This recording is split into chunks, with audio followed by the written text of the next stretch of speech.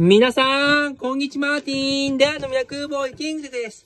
今日は、えー、プロ野球トレードの話いきます。プロ野球、えー、この前トレードした人言います、えー、阪神の、えー、中谷選手、忘れ大砲、ソフトバンクの日本選手がトレード。やはり阪神は中継ぎを厚くしたいと、7回の男として、はい。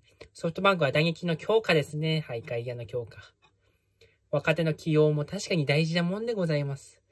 3位トレード実は、住谷銀次郎選手が楽天にトレードしたことを発表、金銭トレード。これね、驚きました。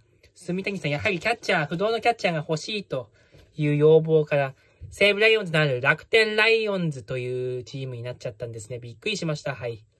野球のトレード果たして次誰になってしまうか。本当に巨人と楽天のトレード多いですね。はい。驚きました。はい。びっくりポンですよ。はい。というわけで以上です。バイバイ。